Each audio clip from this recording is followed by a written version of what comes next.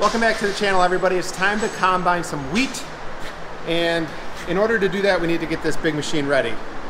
Point to that. that so it just got out of hibernation. We need to basically, there's a couple small little issues with some bearings, uh, nothing real big. Put all the pans on underneath. Because we're combining small grains we need some spiked uh, return covers to put on, which Augie and I already got that all done. So now we're gonna start it back up after doing a full service on it and get it out of here, fill it up with fuel and some government juice. So let's get that done. I forgot what I was doing. See, you guys got me all distracted. I was gonna go over here and get something. A drone? Yeah. No, not a drone. Not Wrenches. a drone. Okay, well, let's just shut this all up. Uh, we'll check everything over quick. No.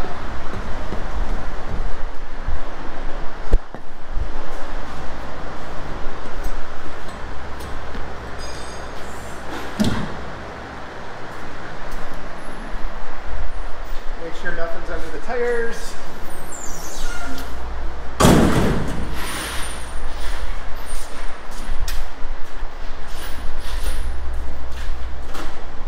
Okay. We should be good to get it out, but we do have to move all that equipment. Here's one other thing I want to do. I want to put LED lights on the flashers because those old incandescent bulbs are not very bright. So we need a Phillips screwdriver, Augie. Can you go get one of those? Oh yeah. Excuse me. Can't get me on video. Yeah. Make sure Russell's in the video. Okay, so all I'm gonna do is take this lens off, find what kind of bulb it is, and then order some LED bulbs to replace these. I don't know if it's gonna work because there's not a lot of resistance in LED bulbs like there is on incandescent, and so they might flash really fast, but they are gonna be a lot brighter. Come off of there. If it doesn't work, you just hit it. Oh, okay. So just hit it when it doesn't work? Of course. This is supposed to be an easy thing, like two seconds. there it goes.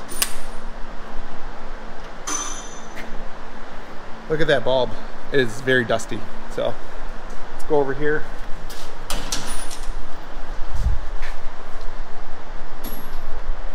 Eleven fifty six is the bulb number, and we'll just clean this one off for now and put it back on. But eleven fifty six, remember that, Augie. 1156. Okay. 1156 and then I'll order it. Yeah, it actually has. Oh, I like my girls a little bit older. You ever get a song stuck in your head and then all day you got to deal with that Yeah. weird Weird. part of your brain? Okay. All right, now let's go fire this thing up. It's been sitting in here a few weeks, so.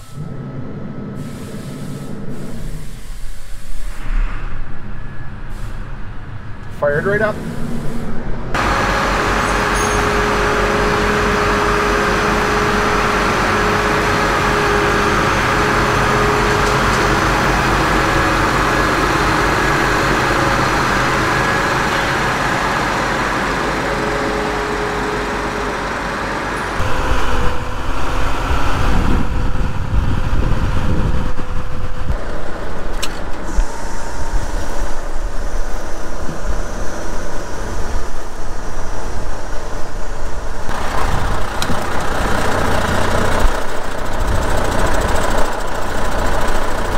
All right, that's gonna take a little while.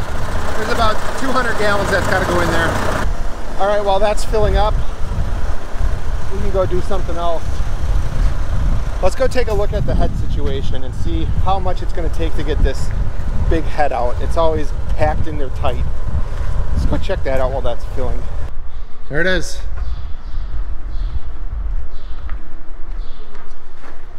Okay, basically what I'm to try to do is just remove these two semis. Oh no, the hitch is on the other side. Sugar. Sugar, sugar. That's the back of the head, so I can't pull it out that way. I mean, I suppose I could, but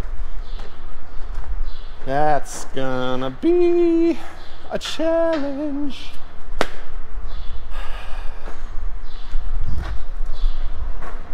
All of that stuff's in the way. Get skinny.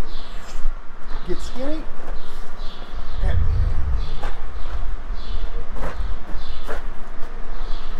Grain cart, not the worst. That tractor, not the worst. Sprayer, baler, and then we have a whole bunch of grain bin accessory parts on pallets.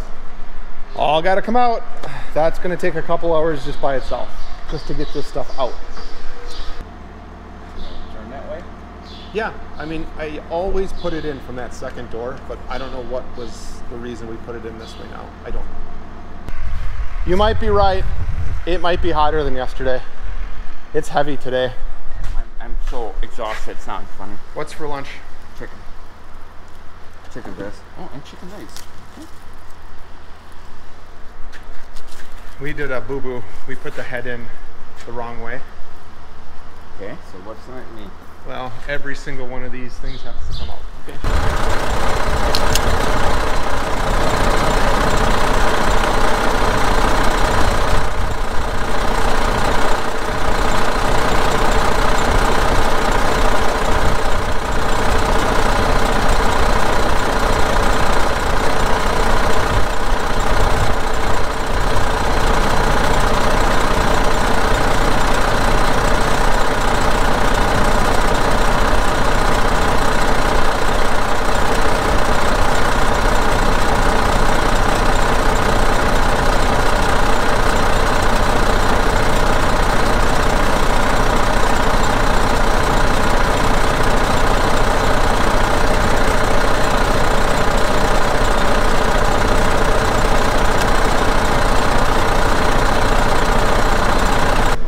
I will tell you one thing.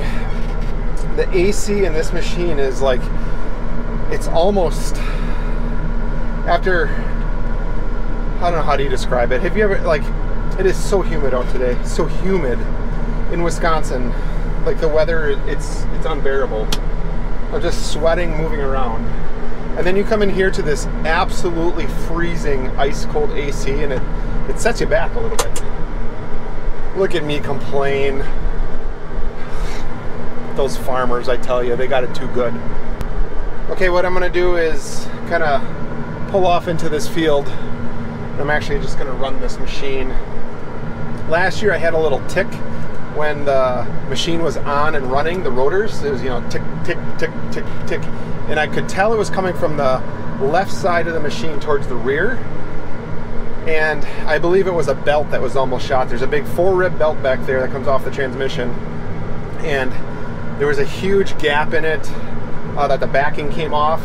And I think every time it hit the idler, that idler would go tick, tick, tick as it came around. So we're gonna check that that is gone. Okay, here we go.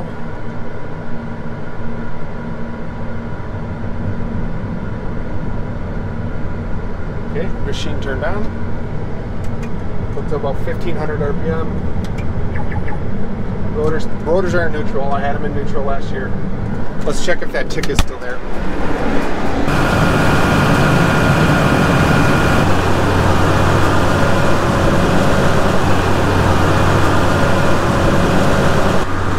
It's gone. So that was definitely the problem. So I really took a chance on that. I was I was hoping that was the problem. Common sense kind of said, know, as that belt goes around and it hits that idler, it's a very long belt. It was almost $400 just for the belt. That it was that idler would just jump ever so slightly and go tick, tick, tick, and then as RPM increased, tick, tick, tick. So, oh, it feels good to have that fixed. Let's go fill up with GoGo -Go government juice.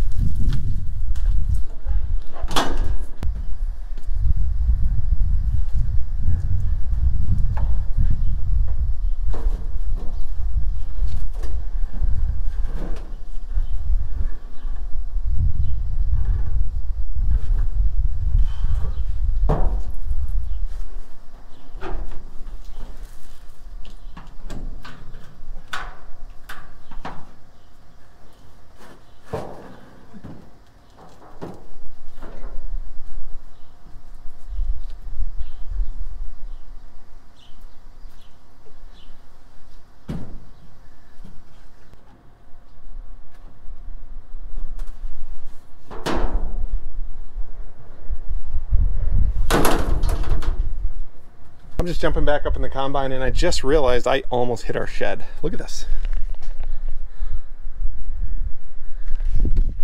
Don't tell anybody. Okay, Russell's already got a bunch of this equipment out and it's almost lunchtime. Master Chef. What's next, Russ? Okay. Grain cart? You want to eat lunch first? Because there's one thing we take very seriously around here, and what is that? Lunch. Lunch. See what kind of spread we have today. Is this wrong? No, that's right. This? So after, I don't know, an hour and a half of finagling everything around, that head that draper head was so tight to the wall and it has four-wheel steer that it took most of that time just to wiggle that thing out of there without like moving everything in here. But we got it. Uh, we got stuff put back away actually. And now we have a combine and a sprayer that needs to be put away. But the sprayer needs to be rinsed out. So I think what we're gonna do is put the combine away. And then I'll show you what we're gonna do on this head. You're gonna be with dad? For the rest of the day? Thumbs up or down? I won't look. I won't look. Okay, it's a thumbs up.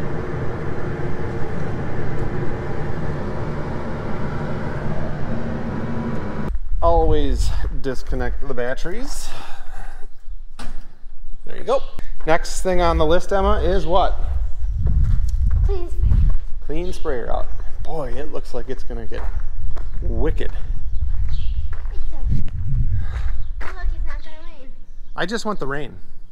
So our lid blew off of this grain bin up here and stayed open obviously and something's wrong with that little strap up there. So I'm just gonna take a bungee up there and you guys come with me. We can get a good view of what we're looking at today.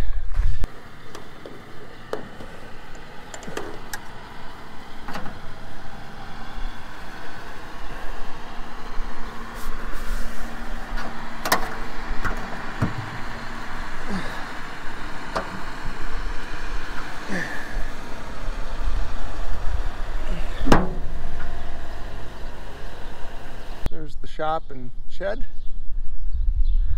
There's the home farm. There's the storm. Pretty neat little view, if you ask me. We're gonna go check on some water hemp that I killed the other day. See if it came back or not. So we just made it up to the field. Uh, I hit a pretty, pretty good load, pretty hot load in here to kill this water hemp because it was everywhere. And uh, yeah, I threw Cobra in the mix. That's what's making these soybeans uh, look like they're dead. They are not dead. They're going to be just fine. But it does look like 99% of this water hemp is is going to be dead. That's what it looks like. That's what we're trying to kill. Now, if you're not familiar, water hemp is resistant to just about everything, including glyphosate. And it's a very, very hard weed to kill. It propagates very quickly. It grows very quickly. You can actually you can if you don't get all the growing points with what you're spraying, uh, it'll just die at that growing point and then grow, keep growing from the next growing point. It's it's just a it's a wicked weed to try to kill, and you don't want it in your fields. Not great, but Not a disaster. I think I've been saying this most of the day. But we're clean the sprayer out, but it's pretty dirty, so I think a quick rinse on a pressure washer will go a long way. Let's do that first. Then we'll clean it out. Whew. It is warm in here, and the AC in this thing is lackluster.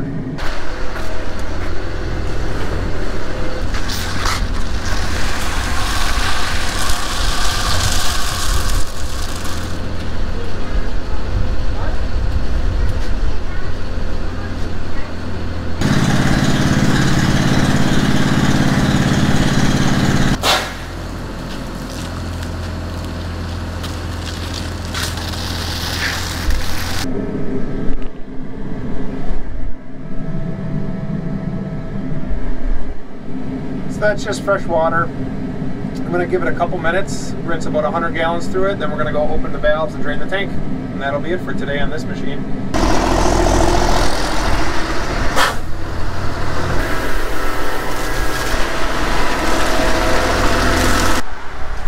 Sprayer's done, and I think what I'm gonna do the rest of the day is work on this combine head, this draper head. And probably end the video with this here.